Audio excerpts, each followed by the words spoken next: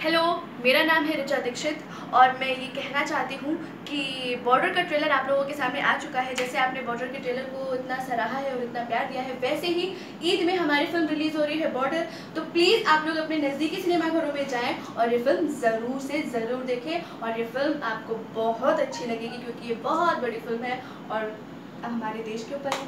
तो प्लीज़ अपने नज़दीकी सिनेमाघरों में जाएँ और ये फ़िल्म देखें।